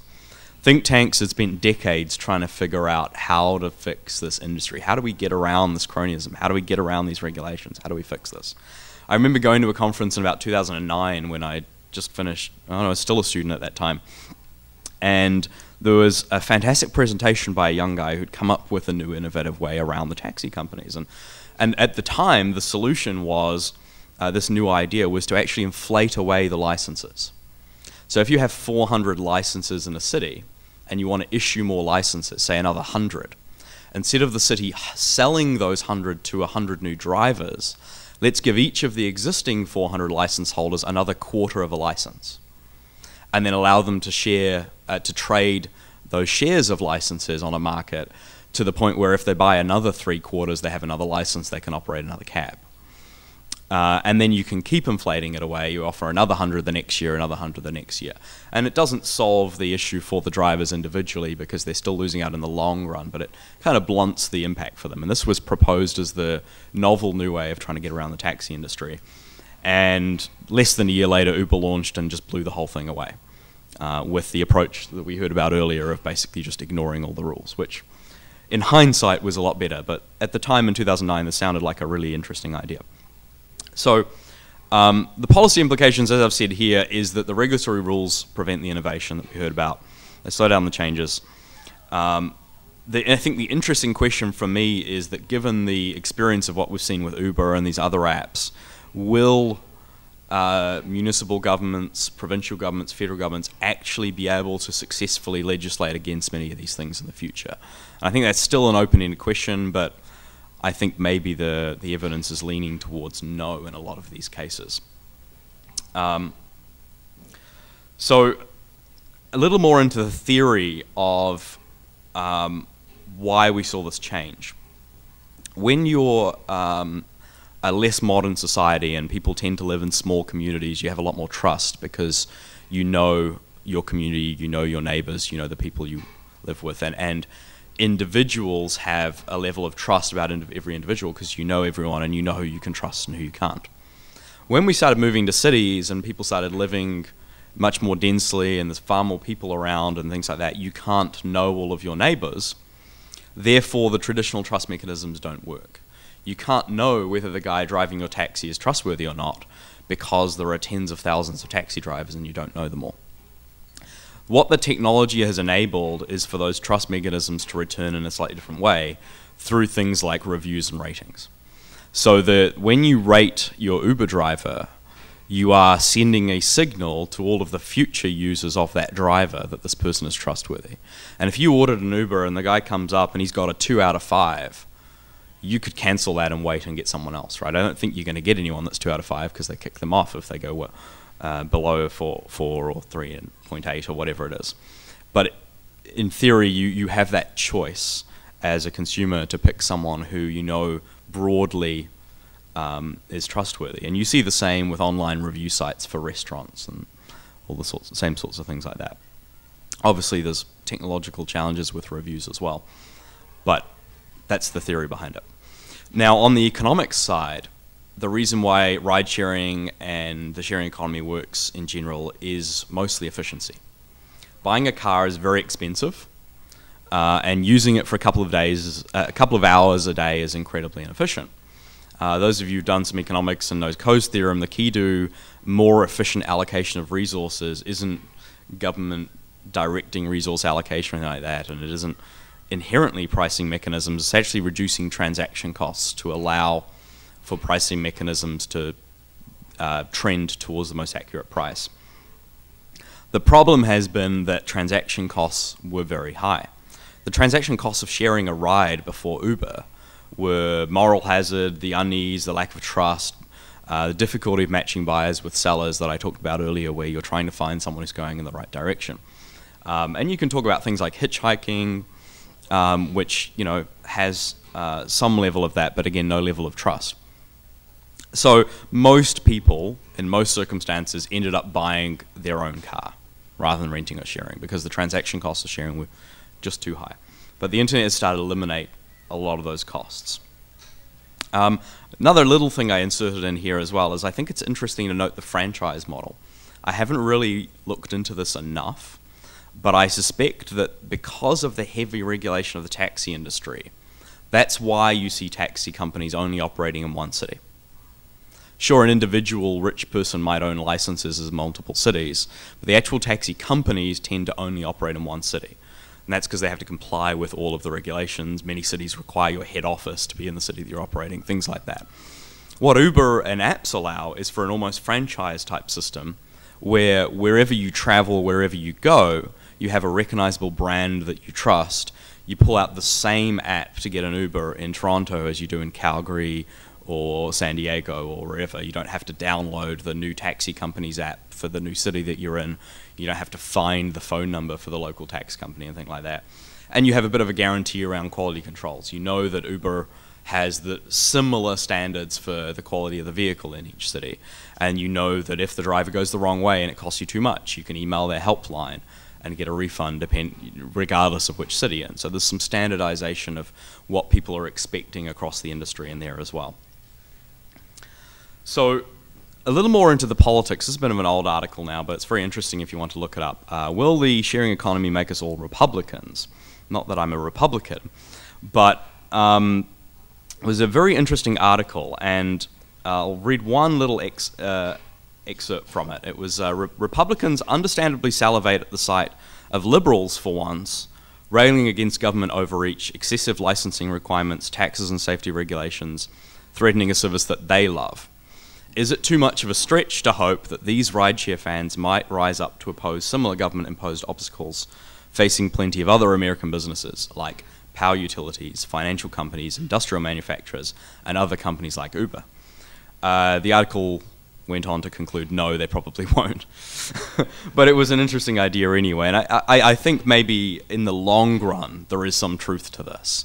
Uh, if you look at the development of the internet, younger generations expect choice and they expect variety and they expect that on-demand service of you know you can go to YouTube and you can watch the music video you want to watch. You don't have to wait for MTV to decide to show the music video. Back when MTV showed music. Um, couple of quotes from Lyft and Uber CEOs. Um, John Zimmer said that uh, cities interpret laws one way and are trying to do their job. We interpret laws another way and are trying to innovate if we took the approach of, hey, let's wait and see what the government does to create a path that's very clear, we wouldn't be operating anywhere. And Travis Kalanick, the head of Uber, said, uh, stand by your principles and be comfortable with confrontation. So few people are that when the people with the red tape come, it becomes a negotiation. And he might as well have said the second quote, which you might recognize. So um, I've got a couple of examples here of things that Uber have launched recently, and then a couple of examples of things that might be coming up in the future. Um, Corner Store is great. Um, I can't remember which cities they've launched this in. I know it's in San Francisco and New York. It might be a couple of others now. Basically, instead of asking your Uber driver to go and pick you up and take you somewhere, you ask your Uber driver to go to a store, buy you things, and bring the things back to your house. Um, Uber Fresh, or I think in, in Toronto it's called Uber Eats, they bring you lunch. So they have a separate app with a whole set of menus from different restaurants where you can order lunch. Not that food delivery is particularly novel, but um, it's interesting that they're kind of branching out in some of these areas. Uh, Uber Rush is now in New York. It's essentially a courier service. So they have these by cars, but they also have cyclists going around with the Uber Rush app. And rather than calling up UPS to get something delivered across town, you call up Uber and they do it, you know, really quickly. Um, from a policy perspective, Uber Pool is very interesting. So if you've ever used like an airport van, where you're at the airport, you want to go to your hotel, rather than paying the $70 taxi to go to your hotel, you get in a van with three or four other people and they go round to the four different hotels that you're going to and you share the price and it's $20 or something like that. That's, that service is reasonably easy to provide when there's a single point of origin and multiple points of drop off. Or when you're going to the airport, there are multiple points of pickup but a single destination. What Uber Pool has done though is used Uber's really complex algorithms that they have to decide which cabs should pick up which people. And they've adapted the algorithms to allow for multi-point pickup to multi-point drop-off. So it doesn't have to be to or from an airport. You can call up, and as long as you tick the option saying, I'm willing to share the ride, they will route a slightly larger Uber vehicle around to pick up several people and drop off several other people. And so Trevor Kalanis, uh, Kalkanis, the CEO, has said he envisages a point where, particularly when they get driverless vehicles, but even before then, um, where these cars could be on the road 20 out of 24 hours a day, different drivers perhaps even, but throughout that whole time they never have less than two people in them because their routing algorithm is so good that they know where to go to pick up the next person before they drop off the next person before they pick up the next person. Because there's no need to pick up five people and then drop five people off. If the route is such that you can pick two people up, drop one off, pick two people up, drop two off, pick three people up, drop one off, all along the same route. And Uber Hop, which is in Toronto and Seattle, I think, is basically a bus, but using the Uber technology. And so they have looked at several routes that they feel are underserved by the Toronto Transportation TTC. And they have said for $5, instead of us coming to your door, you walk a maximum of three blocks to a common pickup spot. And we will pick up two or three or four or five people all at that spot. These are using private vehicles larger cars rather than actual large buses. But then all of you will go to a common drop-off spot in the other area, the other end of town, and so they've got four or five different routes. So you have them uh, innovating one way to say we'll pick up everyone from everywhere using our algorithm, and you have them simplifying the other way to say, well, we'll just walk, everyone walk to this one point and we'll pick you up, and then we'll drop you off in a single point. And they're experimenting with all these different uh, ways of providing cheap service. But with a combination of Uber Pool and Uber Hop, they've got prices for rides across town down to five dollars. You throw driverless vehicles into there, and you're talking about it being cheaper than private uh, than public transit. So at that point, how does public transit work? Maybe you have an argument for heavy infrastructure like subways and LRTs, but at, at what point do you start saying, well, hang on, there's no point providing buses at all? Because Uber can do this for cheaper whenever people want from door to door, rather than point to point along a set specific route. Um, and I mentioned a couple of times uh, self-driving cars or driverless cars. Uh, this is an interesting innovation. Uber are working on it. Lyft just signed a 500 million deal with uh, General Motors uh, to work on some driverless cars for Lyft and for GM. Um, the real innovation here is that the reason public transit works, particularly buses, is because you can afford to pay the driver if you have a large vehicle that can transport multiple people but other than that, the actual capital costs of a large bus are very high. If you can have an autonomous vehicle that carries two, three, four people, it's far more efficient. So again, the self-driving cars talk is a completely separate talk, but it's interesting to think about the potential implications of self-driving cars on Uber and to consider who might end up owning cars. Do individuals bother buying cars? I don't think anyone's going to suggest outlawing private people buying cars, but would you bother if you can get a ride anywhere you want for cheaper than public transit in a private vehicle. Um, if you did own a private car, would you lease it to Uber in the 22 hours a day that you're not using it so it can make money for you? So, you know, you, you have the car at home, you drive to work. While you're at work, instead of paying for parking, your car makes you money by driving around the city transporting other people and you program into it, well, I'm leaving work at four, so please be back by four, and it picks you up and takes you home. And then while you're at home watching the game, it goes out and takes people to bars and restaurants and things like that, and then comes back and it's earning you money. So, it's some interesting thought material for you, but that really is a separate uh, talk. Um, in conclusion, um, I hear our opening speaker, Justice Stratas, can quote South Park. Now, I tell you what, it's very hard to find a South Park clip that can be used in polite company. um, but I think I found one, so let's give it a go. Nobody takes jobs away from us. We need to speak to Mayor and tell her to shut down this illegitimate business. Or maybe we could have the police shut him down. Hey, I got an idea. Why don't you guys just make your cars cleaner and nicer and try to be better to your customers so that you can compete with Handicar's popularity in the marketplace? Just ignore my friend. He's mentally disabled. Ah, uh, don't mind me. So, uh, compulsory promo. If you haven't signed up for Uber yet, there's my promo code. You get like $15 free ride. Uh, please have a look at the Manning Center website. It's also the Manning Foundation website now. They're combined. Um, some of the other stuff we do is Council Tracker, where we track what councils are up to. And we have the Manning Center conference at the end of February if you'd like to come in Ottawa. Thank you. I, I have to just uh, say uh, something, a personal anecdote here. Adam and I have been traveling together for the CCF to, uh, to Toronto for a number of years. And uh, one of the first times that we came here, we took a cab from the airport and uh, we got in an accident along along the and it was kind of odd because it happened so quickly. We didn't really know what was going on. And then the driver was suddenly trying to get me to like testify in his behalf on the street as he got into a fist fight with somebody else that he had hit. Another cabbie by the way.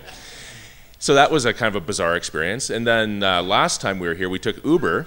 And it was a young driver, was Uber X, I believe, is a young driver who was going to take us to the airport, and he kind of got lost along the way and he uh, it took us maybe 15 minutes longer and he felt so bad he gave us the ride for free so uh, our two experiences are getting into an accident and being dragged into the fist fight and then getting a ride for free because it was perhaps unsatisfactory to us. So, so yeah, it's uh, incentives, right? So, uh, anyone have any questions? I think there's lots of interesting stuff to ask about. Uh, so, vaping and healthcare policy and uh, the economics of that, very interesting stuff. What should be done? And then uh, with Uber, as you've just heard. So, have at her. Let's hear some questions. Yeah, that's what a great panel. Um, I, David, I had a question for you um, about the reaction of tobacco companies to vaping because I've heard two very different things. I've had, I've had some some people, and I, I think some vaping shop owners have, told us this when we met with them, say, you know, the tobacco companies, this is this is competition, and they hate it, and they will do anything to shut us down. But then I've spoken to some tobacco company people. Granted, um, I think they were British rather than um, Canadian or American, and they they told me how how into, if you will, um, uh, vaping they are and how much work that they have been doing on harm reduction. So is that just a line? Um, is the truth somewhere in between, or, or how does that work? Uh, sure, it's uh, it's actually wonderfully complicated. Uh, uh th- this is technology that came out of the blue and, and whacked them. Um, but they had seen it coming uh, because they recognized that they had an incredibly hazardous product and it was unnecessarily hazardous. And they know, and in fact, they sell some products like smokeless tobacco that they know to be phenomenally less hazardous, and it's possible for people to move to this, and they're very used to being sued. And uh, so looking at what can they do to prevent these things from happening. Before we even had these products in the market, they talked about not wanting to do a Kodak. They recognized disruptive technology could, could hit them and hit them really hard.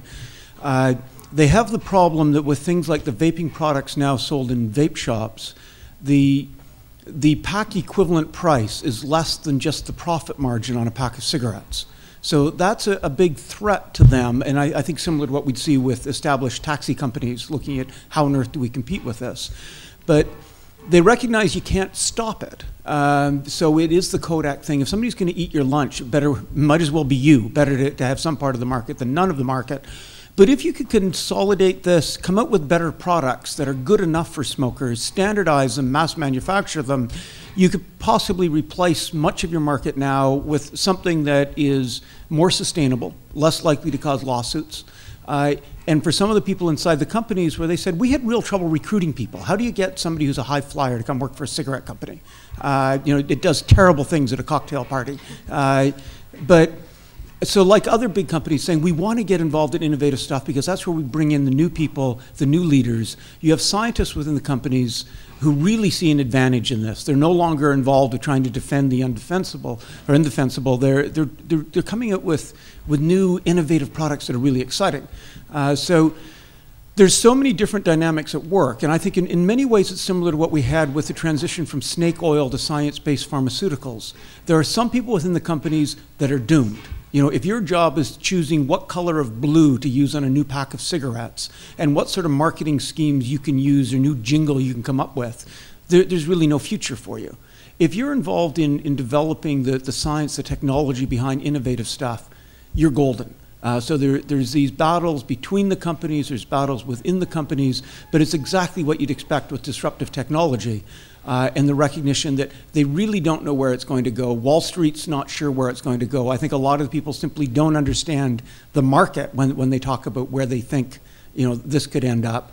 And if you look at the history of innovative technology, it's really rare in, when, when I look at it to find a market dominating company uh, or industry that does well in the face of innovative technology. They're usually blown away for, for all sorts of cultural reasons. So the, the challenge to this industry and just the cigarette companies on the FT 500 have a collective uh, market value now of about 550 billion US dollars. So you're dealing with a really significant player, tons of money they're making, fundamental challenge. What are they going to do about it? So some of them are, are grasping the opportunity, others are, are very scared of it.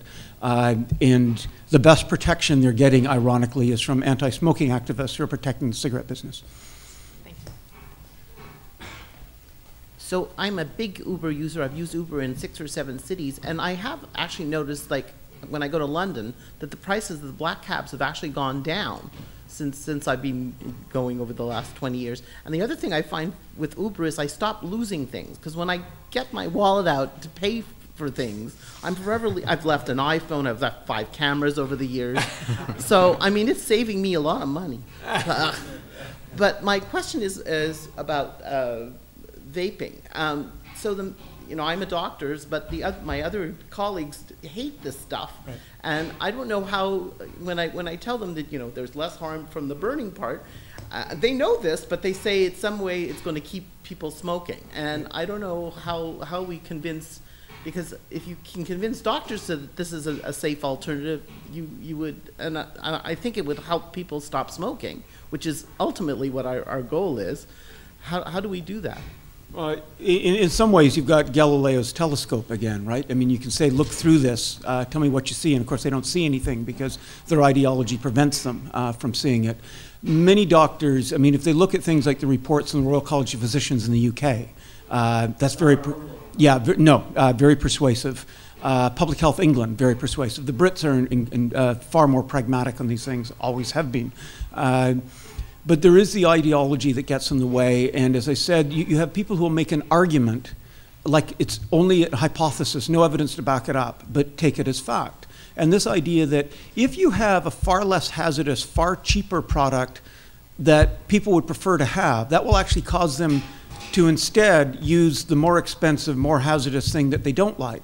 So it is like saying that, you know, if, if you allow iPhones onto the market, uh, you know, people are, are going to go look for those old Motorola flip phones. Or, you know, if, if you allow them to get a, a new laptop, the next thing you know, they're going to want an Underwood typewriter.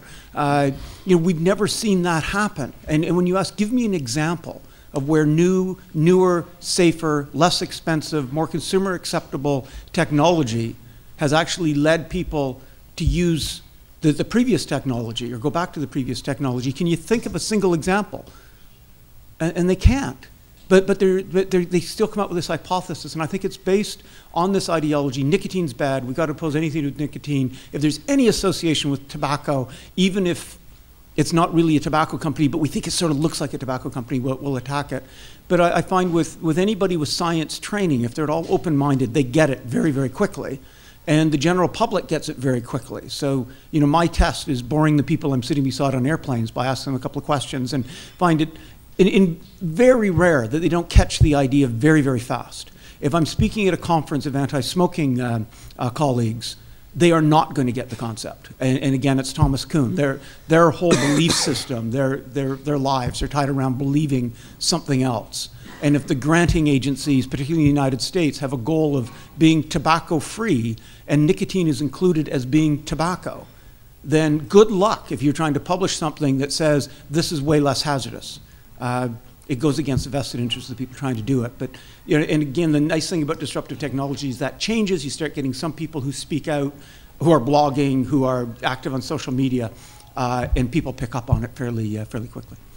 On, on, on your Uber points, I guarantee you if you leave something in Uber, you're more likely to get it back than if you leave it in a taxi. Yeah. You got the guy's name, you got the guy's photo, you got his license plate. Um, it's, it's not that all taxi drivers are bad and all Uber drivers are good, it's just on average because of the accountability mechanism. I've had friends where the Uber driver shows up at their door and says, Oh, you left something in, the, in my car before they even realize that they left the thing behind in the first place. Um, and on the price, I actually I didn't include this bit just because of the time constraints, but you know we talk about the lobbying of taxi industries and cartels of city councils to implement minimum pricing and increase prices. I wrote an op-ed in Calgary recently where year over year over year the prices of taxis just keep going up because the taxi companies lobby the council to keep increasing the prices. But now with the economic downturn we've had in Calgary, the taxi companies had to go hat in hand to the council to beg them for a price decrease mm-hmm. because they were losing so much market share because people didn't want to pay the exorbitant prices. So I was saying to these guys, look, you know, instead of begging the council to increase prices and beg the council to decrease the prices, why don't you beg the council to let you set your prices?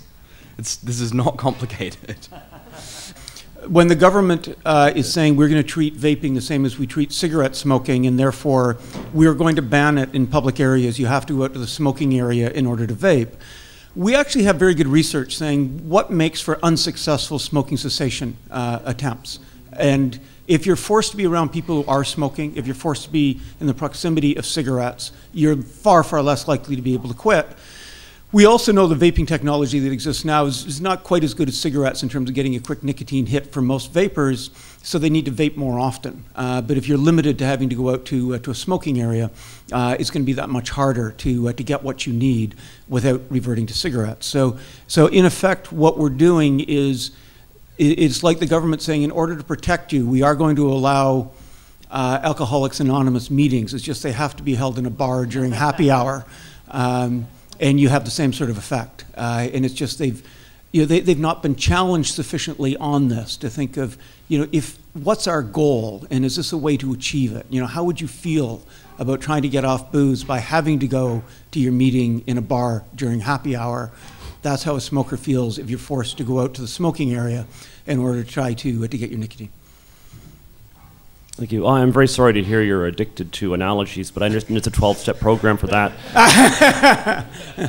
my, my question was actually for Derek. Uh, Derek, uh, you mentioned uh, everybody's got a story like yours, but your last taxi ride and what a disaster it was compared to your, your, uh, your Uber sort of uh, St. Paul on the way to uh, Damascus experience. Uh, so, but you left the story unfinished. I just want to find out were you charged for that taxi ride? Um, the ta- oh yeah, taxi ride. Yeah, we were. Now, mind you, Adam always pays the bills because I'm lazy. I never take any effort to get a ride.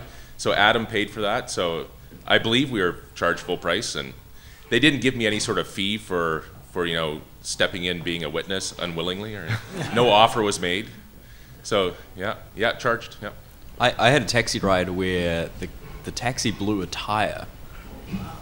And so I had to wait for another taxi to come on the side of the highway. I got on the other taxi, and of course, as soon as I got on the other taxi, the meter went on with the minimum price. So I paid the minimum price and the base fare twice because the taxi drew a bl- tire. I was like, come on. I just have to say this actually is the problem with any discussion about Uber and taxis. Is everybody wants to bring out their horror stories, and it becomes sort of a becomes sort of a competition. If you have a worse story, come up and ask a question next. Yeah. I took a taxi uh, this morning from the Chelsea Hotel to Hart House. The driver had never heard of Hart House, so I had to I had to guide him here. So somebody from out of town was guiding a local taxi driver to get to Hart House. Uh, but uh, my question for Peter: uh, Do you have an opinion on the compensation issue for? I mean, it, this these systems were set up using the uh, coercive power of the government to drive a taxi, you had to be in the system, and uh, you know many of these uh, people have had to buy these medallions at sometimes very very high prices.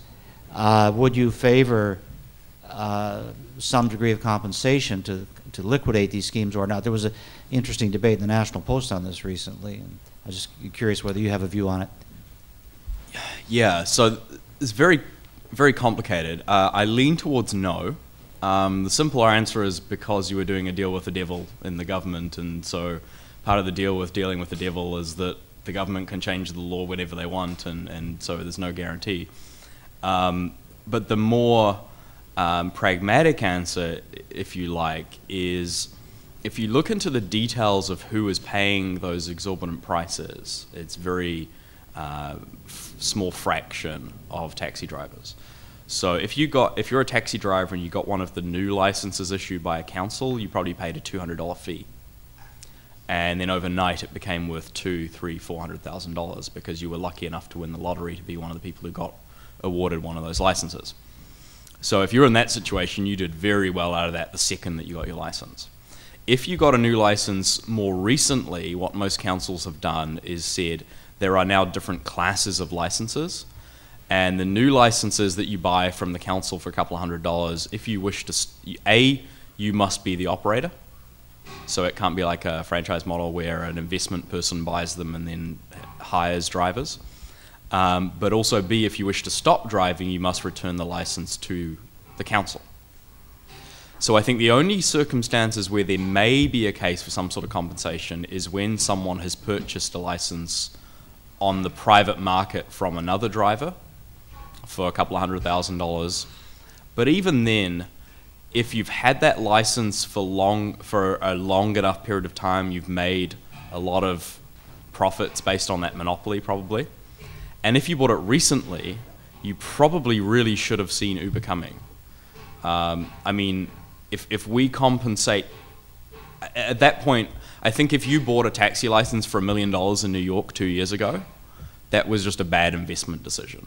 Because it's not like no one knew about Uber or knew that Uber was coming. In fact, Uber was already operating in New York at that point. Um, and the prices of the licenses were already dropping. And if you start talking about compensating people for bad investments, well, you know, do we do that for the stock market? Do we do it for whatever? You know, at what point does it become difficult? So, yeah, I mean, you, you, it's it's really tough for those people who just bought a license right before they started declining in value, but that happens in the housing market. That happens in all sorts of other markets as well. And I don't think we can say um, that in this one case there should be some kind of compensation. A couple of cities have looked at ways of doing this. Um, I think New South Wales in Australia is going to tack on a dollar fee for each Uber ride for the next five years, and that money is going to go into a pot. Um, but this again, this is where the libertarian me comes out. How do you actually implement that policy of compensation? Um, because what the New South Wales government decided to do was to give the money to the, the union of the taxi drivers to disperse as they see fit to compensate the drivers. So as soon as you start talking compensation, not only do you have to talk about is it justified, is it worth it, is it the best method, but also will it be implemented in a sensible way? And I'm, I'm not sure that that's necessarily the case either. If you could present a, a really good compensation plan that excluded all the people who should have known better and that and didn't that you know that that made a huge monopoly profit off it at the point of purchase and was very narrow and limited to those few people who were just kind of unlucky in the timing, maybe we could consider that. But you know, if you have a unicorn, I'd like to see that too. Uh, gentlemen, thank you very much for your presentation. I was greatly look looking forward to this. We've already discussed these issues beforehand. Um, I just wanted to point this out to people. This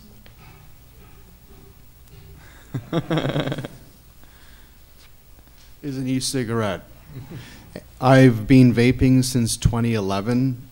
These things have come light years since then, and especially since 2005 when I first found out about them. Not at all a regular smoker. I use this much as someone might use a coffee to pep themselves up in the morning. It's a modulator, so you know when you're when you need to be up, you can get up. When you need to go to bed, you can go to bed. That's that's one of the uh, qualities of nicotine. Um, I wanted to point out that this is, other than language and the internet, one of the most free market devices ever invented without government intervention at all. A few years ago, in the past, I'd say three years, there was a VHS beta type battle for interfaces for e-cigarettes. One was from a company called Joyetech in China, which developed something called a 510, and another one was from another company called Ego. And Joyetech won over. You can still buy Ego; it's still very popular. There's a five-dollar adapter, you know, you can use for the screw adapter. But essentially, this tip will interface with any tank, and the tank will interface with any battery. So they, the, the market decided upon these mechanisms and everything is being incredible, the growth is being exponential, and this is nothing compared to what's out there. There's something called sub-ohm devices, which allow for far more heat to be generated to the point that you can, if you are irresponsible, you can burn your lips off. So, uh, but those are very powerful devices, and they can deliver a tremendous amount of nicotine to the heaviest of Sounds smokers. very dangerous. It might need regulating. Exactly. that, that that has that that has not been brought up by any regulators thus far, but you can count on it being brought up. Um, in terms of nicotine, uh, the only in, looking at meta-analysis, the only um, there, I mean there there's a net positive in terms of um, the consumption of nicotine for neuroprotection rather than anything to the opposite.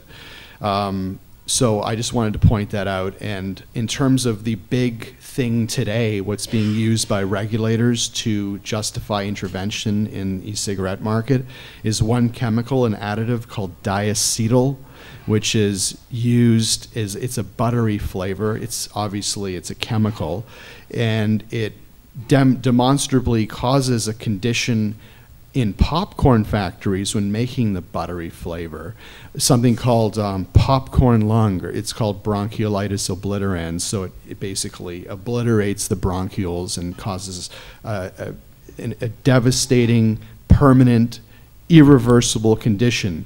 The two people in the study that was referenced recently that has been bandied about in the press, two people out of millions and millions of long term e cigarette smokers developed what they claim was popcorn lung, which of course reversed itself in a few months. Recall, it's devastating, permanent, and irreversible. So it's not popcorn lung, but that is being used as the big thing these days in an attempt to regulate e-cigarettes. And any studies done in the past referenced previous generations of e-cigarettes that people don't even use anymore, and they said they're somehow dangerous, even though the average cigarette contains roughly 4,000 chemicals, and when burned, creates even more uh, chemicals, especially carbon monoxide, because that's what happens when you burn things as opposed to vape things. So I wanted to mention that, and then with respect to Uber, You have a bad taxi experience to share as well? um, I think everyone It's had hearing of grievances, I The, think. the last bad taxi experience I had was simply was simply trying to get a, a cab um, Saturday night. Not a particularly interesting night. Not a not some sort of a long weekend. 2 a.m. last call, and I called the cab company just as you said. Busy, busy, busy. Then half an hour. Then you can't get anything oh, it's coming, it's coming, and then you finally flag down a cab, and you can't even fit everyone in the cab, and then it's just a total nightmare. But I wanted, what I wanted to mention, what I wanted, I wanted to mention one more thing regarding what you, you, you, it's sort of like an elephant in the room in terms of ratings and reviews, is the darknet markets with respect to illegal drug trade. That is something where with my research that I've done in terms of people who were really trying to slag the drug market, saying they're extremely dangerous, looking at the supply side, there were no bodies that ever resulted from the trade of drugs. Looking at the demand side, out of millions of transactions, there were literally a report of something like five deaths because someone did something um, in terms of supplying an, uh, an, an adulterated drug. So it was the most, it was the safest distribution of drugs in a, in a prohibition mechanism that has ever existed in, in human history. That's all I wanted to mention. Thank you very much. The, the, the related aspect to that is uh, kind of a decentralized network, which I didn't get to either. Um, but I, I've made the point to several councils when I've submitted to them. You can do whatever you want for regulations for Uber, but there is literally nothing stopping a kid in a basement somewhere creating the same app. Yeah. And as long as the kid doesn't care about making a profit as a centralized company, he just sets the app up such that 100% of the cost of the fare goes from the rider to the driver. There's no central organization collecting the money, there's no central organization to be taxed, to be regulated, it's just individual drivers. And at that point, how do you regulate that? Do you start having the police knock on the door of every car and say, "Is this person in the back of your car an Uber rider? Uh, uh, are they paying you or are they not?" Like it's completely unenforceable at that point.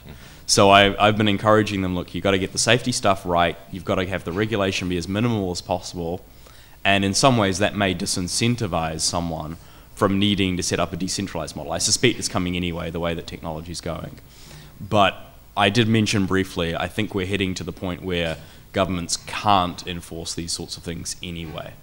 And so we're going to rely more and more on the technology and the platforms and the rating systems to enforce the safety and the reputations and things like that. And, and maybe that's a good thing. We can debate that another time. But yeah, thank you. I just say always ask if someone wants to regulate something because of harm, where are the bodies? Always ask that question because there rarely are any. Thank you.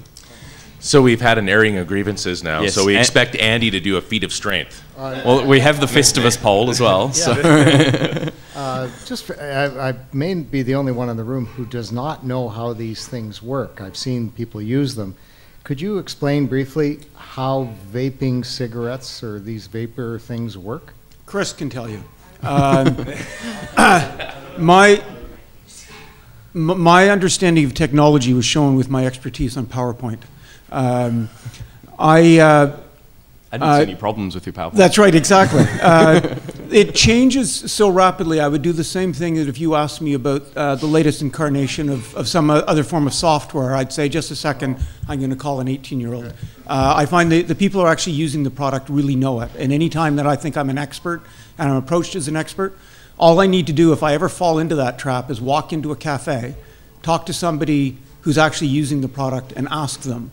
And yeah, I'm reminded of uh, it was a Noam Chomsky uh, line of saying, anybody who thinks that the average person isn't capable of engaging in, in you know, detailed discourse on, on politics as opposed to having been disengaged, need only listen to sports radio and the phone-in shows and what people know. So you know the the local apprentice uh, plumber uh, who is going to know the the batting average of everybody on the Blue Jays, sort of thing. Uh, so. I've read about them. Um, I understand some of the technology, but it's essentially just the, the concept's really simple, and I think we, we need to avoid getting caught up with any particular product. The idea that you deliver nicotine without the smoke, you solve the problem. This is one way that's doing it. There's other people have other ideas out there, and some of them I think are phenomenal if you just open the market uh, so that we have entrepreneurs. I talk to venture capitalists who see huge potential in product innovation. They think they, they can outdo the sorts of things that exist now. There's others who say, no, the big advantage is going to be on consolidating the vape shop business to come up with something that's closer to a Starbucks model. You'll get consistent, high quality product. You know, if you go to one of their shops and they, they will go national with these. Once they feel that they can do it, that, that they're not going to spend a billion dollars rolling something out to become a new Starbucks and then have somebody shut them down. Perhaps an app that delivers it to you. Yeah, that, that's right. So it's it's it's moving uh, very rapidly, and I usually when I come to give talks like this, I bring devices to show people. Uh, inevitably, before I get to the talks, I meet people who are smokers, and we end up talking about these, and then I give the devices away. So then I show up, and I don't have anything to show, but there's invariably somebody in the audience who uh, who has the products. Thanks.